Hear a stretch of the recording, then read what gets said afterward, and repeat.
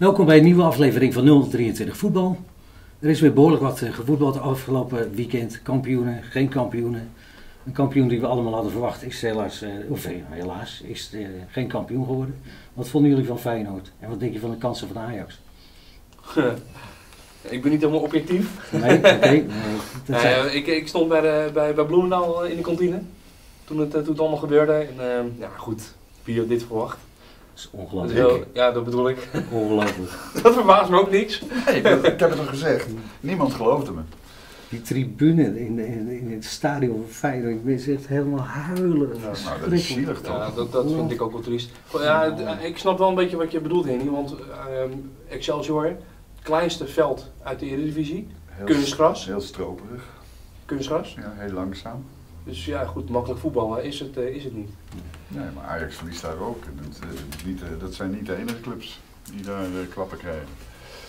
Maar nou moet je de volgende vraag stellen. van wat gaan we dan eh, volgend weekend allemaal beleven. Het is Nou. nog maar één punt verschil.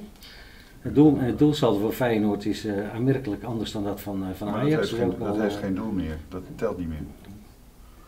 Kan nooit meer op doelsaldo zijn. We gaan het zien. moeten winnen. hè? Ja. ja. Ik ben heel benieuwd. Maar wat denk jij? Oh, wat ik denk? Nee, ik, eh, nee, ik zet hem gewoon op Feyenoord. En wat denk jij? Ja, ik hoop Ajax, maar ik denk ook Feyenoord. Ja, Dan heb ik nieuws voor jullie. oké. PSV. Nee, Feyenoord speelt gewoon gelijk tegen Heracles. Want Heracles heeft nog een punt nodig. En Ajax gaat met zijn vingers in de neus eh, Hey, maar kampioen worden. Oké. Ik ben even één Ja. kanttekening. Ehm, in 023, want het is 023 voetbal. Ja, oké. maar hebben we eigenlijk geen, geen betaald voetbal meer. hè? Zo gauw- AFC is Ja, nee, oké. we, gaan, we gaan gauw over naar, eh, naar wat andere Precies. dingen. De vierde klasse zaterdag, de vijfde klasse zondag. Ja. Je hebt het idee dat, eh, dat het niet helemaal serieus meer eh, genomen wordt. Hoe komt dat? Wat Nou is er ja, niet hand? helemaal serieus, dat is misschien iets wat gechargeerd. Ehm, afgelopen weekend ehm, was er in de, de zaterdag vier klasse was de laatste speelronde. Eh, twee clubs die, die konden nog kampioen worden, Dem en, uh, en Velsen Noord. En ehm, wat blijkt? De wedstrijd van Dem tegen Bloemendaal, die ging niet door. Ja, wat heb je dan weer? Ehm, festiviteiten van Velsen Noord konden niet plaatsvinden. Ehm, ja goed, wat is de reden van waardoor die wedstrijd niet is doorgegaan? Bloemendaal had geen team. Ja, we hebben, we hebben een, een klein overzichtje gemaakt eh, van, van dit seizoen. Maar het klinkt zo makkelijk, ze hebben geen team, dat heeft een reden. Hè? Er is aan het begin van het seizoen eh, door Bloemendaal opgetreden tegen dat team. Dat klopt. Er zijn vijf of zes spelers die zich niet wisten te gedragen, die zijn eruit gegooid. En dan krijg je het probleem dat het een zaterdagploeg is en dat op zaterdag de jeugd ook speelt. Ja. Dus dan is het heel moeilijk om het in te vullen. Mhm. En daarom eh, is die wedstrijd dus naar een latere datum verschoven. Maar het, is, Ja, maar- het is heel begrijpelijk dat een club op een gegeven moment, als er daar gasten lopen die zich niet weten te gedragen, dat die, er, dat die eruit gaan. Dat ben ik met je eens, Ja. Maar aan de andere kant, het is wel een selectieelftal. Het is een standaard team. Een standaard team kan nooit bestaan uit 15 jongens. Nee, dat is waar. Dan moet je lekker een tweede elftal gaan beginnen. En tuurlijk eh, dat, er, dat er bepaalde, ehm, ja, hoe zeg je dat, Eh, eh, wensen zijn of dat je bepaalde dingen nastreeft, dat is logisch. Maar het is toch vreemd dat een standaard elftal op die Ja. manier geen wedstrijden kan voetballen. En het is niet de eerste keer, hè. Er zijn al eerder zijn de wedstrijden eh, uitgesteld, verplaatst. Door Bloem, bij Bloemendaal, maar bijvoorbeeld ook bij, eh, bij D6, bij de- het zaterdag elftal. Ja, vrij Dat zou toch eigenlijk niet mogen. Er zijn er nog andere redenen die daaraan de grondslag liggen. Nou, we hebben een, eh, we hebben een klein, klein overzichtje gemaakt. Hè? Van die Eh, 24 wedstrijden die niet gespeeld zijn. Precies. Er zijn eh, in onze regio dit seizoen 24 wedstrijden eh, niet gespeeld of niet uitgevoetbald. En dan hebben we een aantal verschillende oorzaken. We hebben eh duels die zijn gestaakt eh, wegens eh, ongevallen, eh, wegens eh, tuchtzaken, noem alles maar op. Maar er zijn dus ook gewoon wedstrijden waarop ehm, een, een bezoekende ploeg of zelfs een thuisspelende ploeg ehm, niet is komen opdagen. Ja. ja, dat is toch eigenlijk in de standaard klasse Dat kan niet. Heel vreemd. Vorig jaar was het in die eh zonder feitenklasse was het nog veel erger. Toen zijn er een aantal teams die zijn nog eh, door de KNVB uit de competitie gehaald. Hè, want ze begonnen toen met, eh, volgens mij met 13 of met 14 en ze eindigden met 6. Met 6 teams. Dat is eigenlijk te bizar voor Oh, dat is ongelooflijk. Ja. Ja, en ehm, goed, wat jij net zegt, hè, ik begrijp echt wel dat, dat Bloemendaal, ehm, op het moment dat het, dat het niet gaat, hè, dat de sfeer eh, verpest wordt en dergelijke, dan moet je op een gegeven moment moet je een daad verrichten. Dat begrijp ik helemaal. Maar ehm, de consequentie hiervan zijn niet alleen voor je eigen club, maar hiermee benadeel je dus ook. De hele competitie. De hele competitie. de competitie Ja, want uiteindelijk, ehm, hoe je het ook bent of keert, ehm, die, die wedstrijd die ingehaald eh, eh, moet worden, ja, Ja. dat, dat geeft een hele vreemde situatie. Ja. Misschien moet je dan denken dat de KNVB toch zou moeten praten met die clubs en zeggen, jongens, trek je dan maar terug. Want Ja, ja, maar dat is dus vorig jaar bij Bloemendaal gebeurd. Ja. Bloemendaal die werd er vorig jaar twee wedstrijden voor het einde, werd Bloemendaal zaterdag 1 uit de competitie gehaald. Dat is ook vreemd. Ja, twee wedstrijden. Twee wedstrijden voor het Ja, eind ja. Twee wedstrijden voor het einde. En die hele competitie ging op zijn op z'n- op kop. want dan gaan al die punten die gespeeld zijn, die worden er weer afgetrokken. Ja. Je krijgt Ja. dus één grote vervalsing. Dan moet je ze gewoon door laten spelen. Je moet dat direct doen. Bij de eerste de beste keer dat het misgaat, hup jongens eruit. Ja. Dan doe je het goed. Ja. Ja. Wat, eh, wat overigens wel opvalt, bij al die, eh, die, die eh, duels die niet uitgevoerd zijn of überhaupt niet gestart zijn. Er gaan natuurlijk altijd heel veel, heel veel verhalen erom, hè, dat hier in de omgeving altijd dezelfde club zijn. Maar een club als Heijs, dit jaar, zit er geen enkele keer bij. Nou, dat verdient ook wel een keer een compliment. Ja, absoluut. Ja. Dat, eh, Ja. dat, daar, eh, dat er toch goede dingen gebeuren. Nou moet ik ook eerlijk zeggen dat ehm, de scheidsrechters kunnen ook een vreselijke rol spelen. Hè? En Ja. die, zijn, die zijn niet goed gewoon in, in, eh, in deze klasse. En ik begrijp wel dat het voor de KNVB moeilijk is om goede scheidsrechters eh, eh, op te leiden. Maar als je, neem nou die wedstrijd van Stormvogels bijvoorbeeld. Waar dan drie rode kaarten getrokken worden. De wedstrijd wordt twee keer stilgelegd. De voorzitter wil per se dat die wedstrijd gespeeld wordt van Stormvogels. Want anders loopt iedereen van het veld af. Het publiek wordt, wordt onrustig. Er- Het zijn toch dingen die niet kunnen. Nee. En, en we hadden een, eh, een onpartijdige eh, figuur die daar voor ons gekeken heeft. De goal die gemaakt werd, was duidelijk buitenspel, werd goedgekeurd. Dus je krijgt een vreselijke sfeer in die wedstrijden, alleen doordat de scheidsrechter niet opereert. En het zou mij niet verbazen als die jongens volgende week niet komen hoor. Ehm, ik, eh, ik heb... het eh, eh, heel vaak over, over scheidsrechters, Er, eh, zeker in deze regio. Kijk, maar kijk alleen naar de hoeveelheid penalties bij AFC. Er- Twaalf.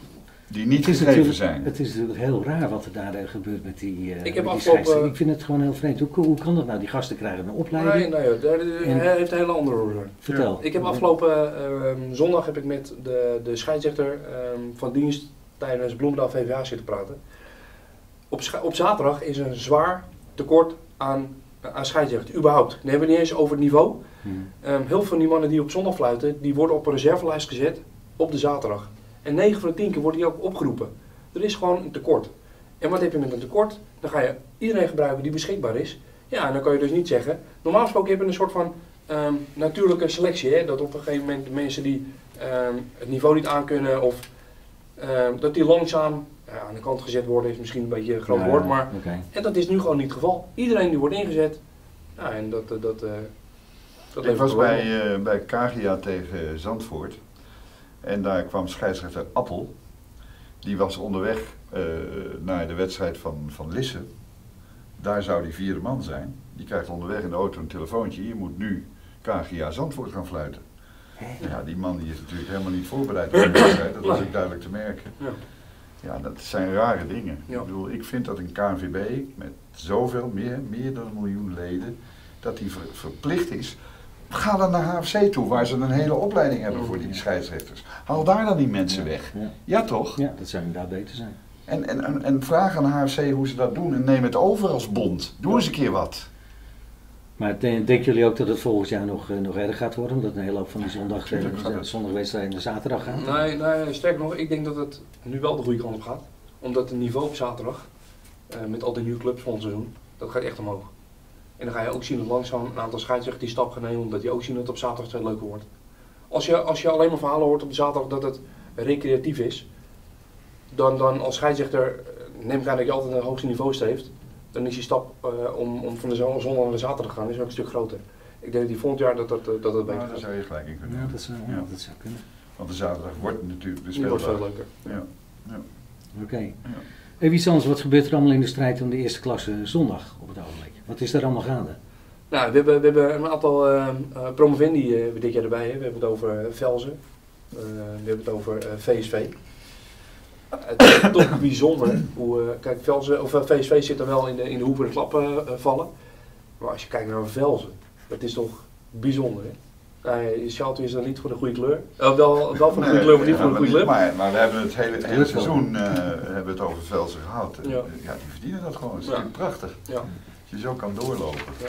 Ja, dat staat natuurlijk ook een hele goede trainer, hè, wat we nou reëel zijn. Ja, ja, een man met heel veel ervaring. Ja, klopt. Tom Pronk is een uh, hooi van iedereen. Dat is een hele goede trainer. Ja.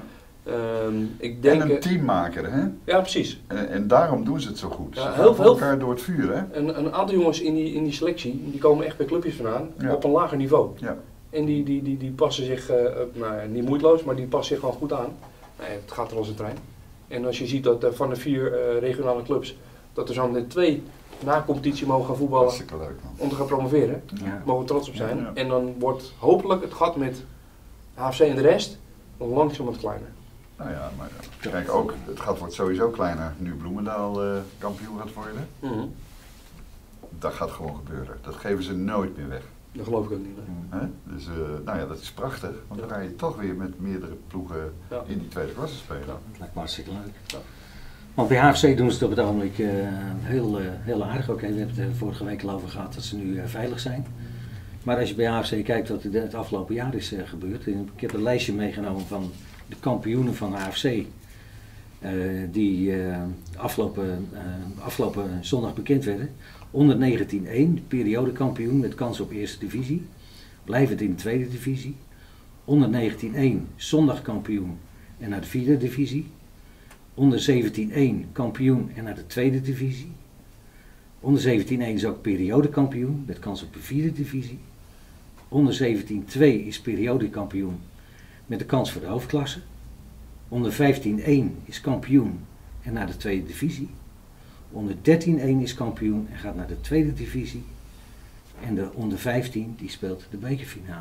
Er gebeurt ontiegelijk veel bij haar. Waarvan je het We niet zijn gewoon, ook kampioen trouwens. waarom heet het niet gewoon allemaal A, B en senior, hè? Altijd dat Ja, gewoon van ja, onder ja, 15 en ja, weet ik wat allemaal.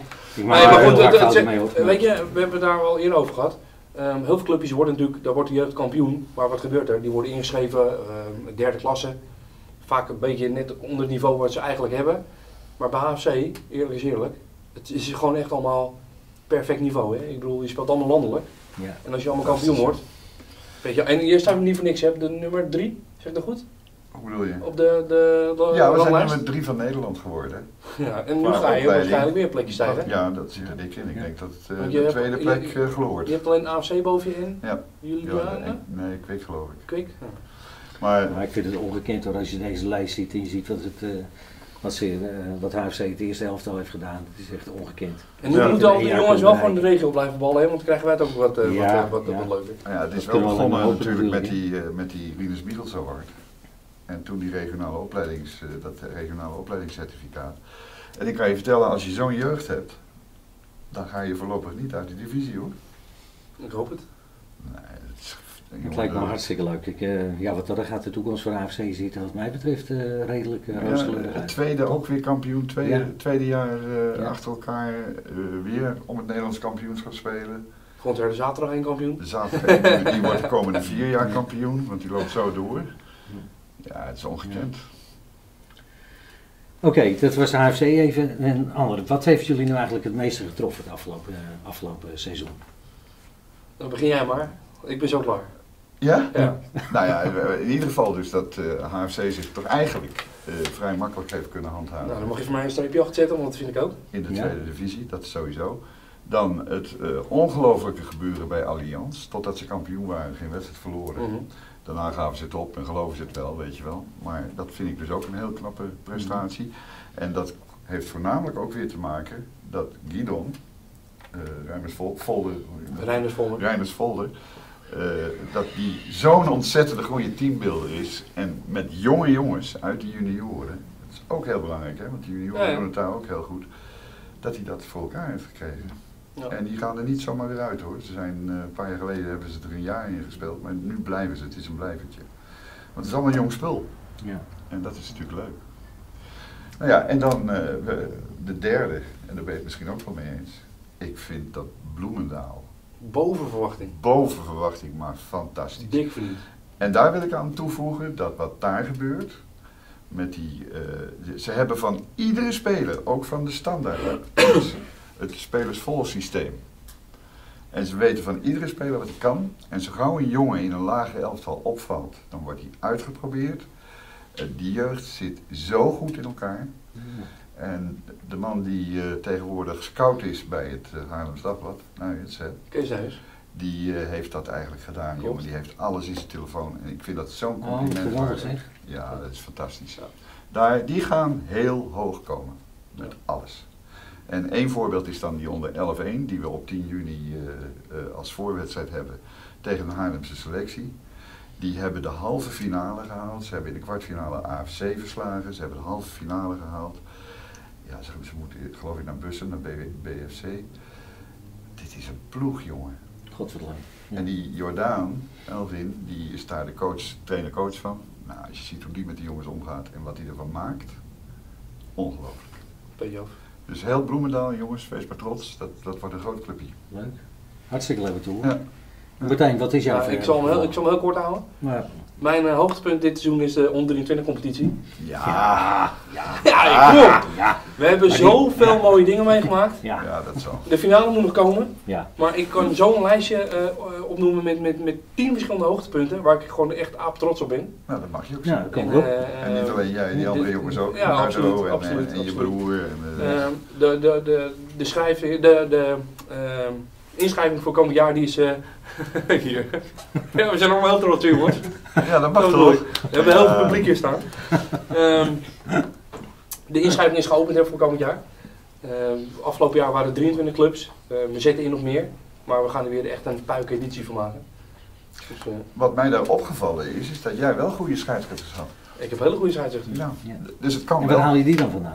En waar- waarom kan regelen, regelen we allemaal zelf. Maar het kan dus wel. Ja. Ze, zijn dus, ze bestaan dus echt. Ja. Ja, oké.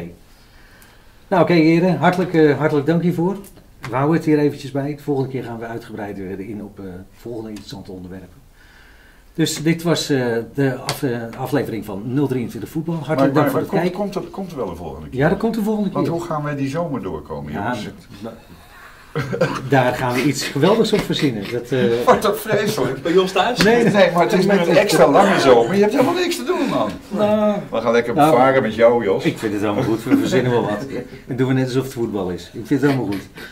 Oké, beste mensen. Ik vind het allemaal goed. Kom maar op. Oké, dus hartelijk dank voor uw aandacht en graag tot de volgende keer. Waar, dat, we zullen het zien. Tot ziens.